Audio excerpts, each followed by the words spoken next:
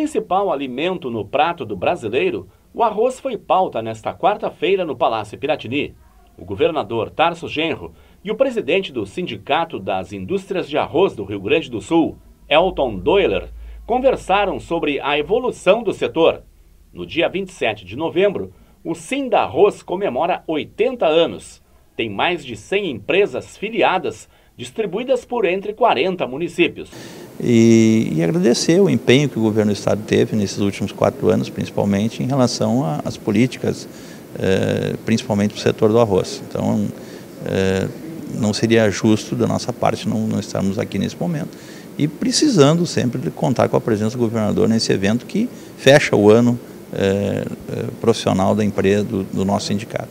Está bem melhor a situação da indústria e do ourizicultor no estado Lembra o presidente do Instituto Rio Grandense do Arroz? Mas o principal mesmo é a renda do produtor e da indústria. E esses, inegavelmente, melhoraram muito.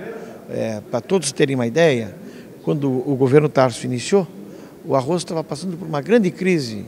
Eram pagos aos produtores em torno de 17, 18 reais o saco de 50 quilos de arroz. Hoje o saco de 50 quilos de arroz está 37 e 38 reais, ou seja, 20 reais a mais.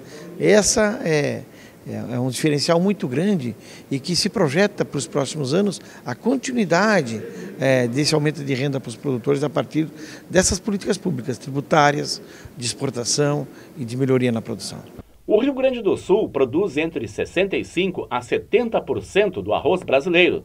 A próxima safra gaúcha é estimada em 8 milhões e 200 mil toneladas. A comemoração do Sim de Arroz será no Hotel Sheraton, em Porto Alegre.